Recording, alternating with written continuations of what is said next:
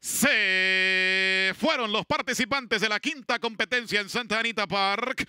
Retrasa el número 6, Practical Impasse, y se queda en la última posición. Penúltimo Piroli, antepenúltimo Baldoro.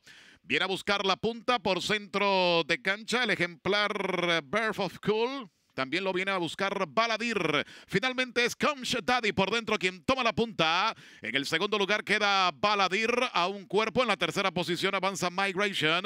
Más atrás lo está haciendo Birth of Cool junto a Kazuiko Lu Abidin.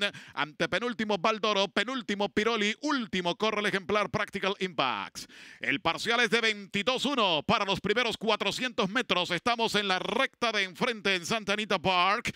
Está en punta Kamsh Daddy. Mantiene un cuerpo de ventaja sobre Baladir, que por fuera ocupa la segunda posición. Hacia el tercer puesto avanza el número 5, Birth of Cool. Junto a él lo hace Migration. Más atrás por dentro avanza Kazuiko. Por fuera Lu Abidin. Luego viene moviéndose el ejemplar eh, número 1, Baldor, junto a Piroli. Sigue último, Practical Impacts.